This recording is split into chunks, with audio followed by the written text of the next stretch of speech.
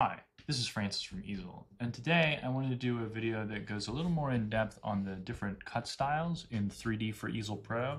We can kind of talk about uh, how they're different, how they work, and just kind of walk, work, work through it um, together. Um, so to start, to access the cut styles, on the right-hand side of the Easel uh, 3D and Easel Pro screen, you'll see uh, it'll say model right here, and then there'll be some options. And then below that, there is a option for cut style. When I click on that, it brings down a menu.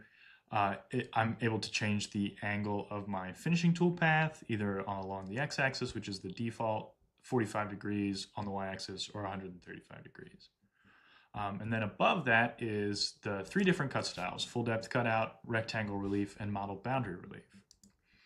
Um, full depth cutout is, is essentially exactly what it says it is if I were to generate this tool path. Um, we can see the roughing pass carving out quite a bit of it. We can see if we look at it from the side, it's getting cut out and there are tabs being created. And then if we look at the finishing, we can see that it's moving across the material and those tabs are maintaining. So essentially you're cutting the, the object out using tabs.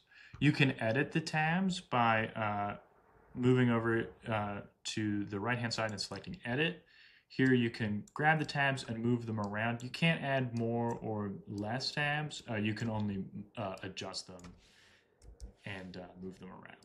Um, and so that's really useful if, if you want tabs in specific spots, maybe where the model's weaker uh, during the carve. You can also opt for not having tabs by just unchecking the use tabs feature, and that will remove them. Um, and that's essentially how full depth cutout works.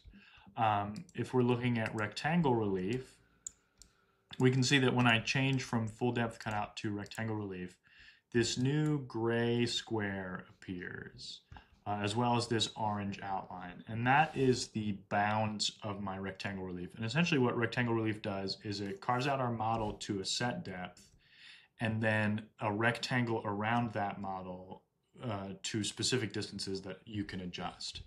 So the first thing to note is the gray square indicates, or the gray piece indicates the rectangle itself and also the depth. So if we're looking at it from the side, we can see that that gray uh, square is, or rectangle is kind of at the bottom of my model.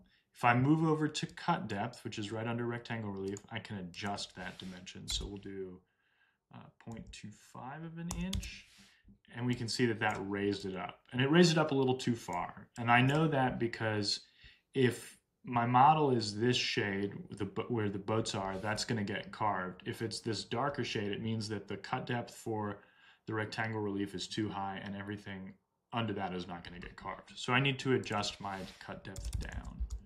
Uh, looks like 0.3 is going to work just fine. I can see it bisecting my model when I look at it from the side. So I know that my cut depth is good. Uh, there is this orange rectangle which indicates the uh, padding or the bounds of my rectangle. If I generate this toolpath, we can see that um, as it carves, oh, that's the finishing. Uh, as I, we can see the roughing, it's going to carve out to that orange line, and that's the bounds of my rectangle, which is outside the bounds of my material. So I can adjust that padding, and you can do that right here. And it says padding back, so that would be the top of the model. Change it to 0.4. We'll just change everything to 0.4. You can adjust these uh, individually. You have to adjust them individually, um, but you can. The dimensions don't have to be the same. You can change them depending on what you're trying to do. But now when I generate this toolpath, we can see that that orange rectangle is in more and it's it's uh, that's the bounds of my rectangle relief. Um, and the depth is right everything looks good. If we look at the finishing pass it's going to look just fine. And typically the rectangle relief the rectangle portion of the carve is going to carve uh, or uh, the rectangle portion of the carve is going to carve with the roughing and uh, mostly the 3D model is going to be saved for the finishing bit or the detail on the 3D model will be saved for the finishing bit. So that's a little bit more about rectangle relief. The other cut style is model boundary relief. And this is very similar to uh, uh, rectangle relief in the sense that we set a cut depth. Um, so in this case, it's just going to maintain the 0.3 cut depth. And then when I generate my toolpath, we can see that it's it's basically following the, the bounds of my model. And if we look at the finishing, it's doing the same thing. Um, but with model boundary relief, essentially we can set one dimension for padding around the model. It's not like a rectangle relief where you're, intentionally creating a rectangle.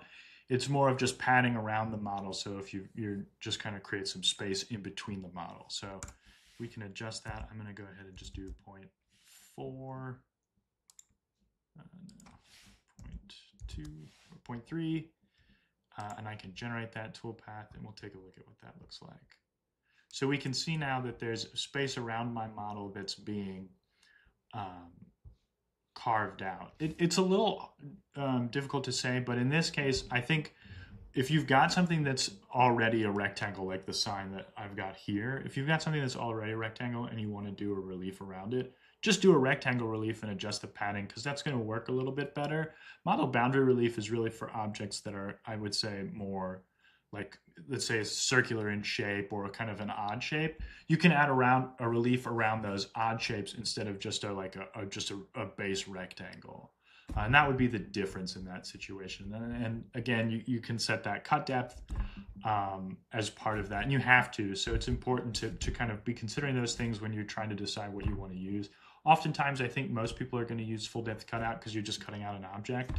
Um, but these different cut styles allow you to achieve uh, different things if you're if you're trying to uh, uh, design certain types of things. And that's just a little bit more about 3D toolpath cut styles. Uh, certainly, if you have any questions, please just let us know in the comments. Have a wonderful day. To learn more, head over to easel.com.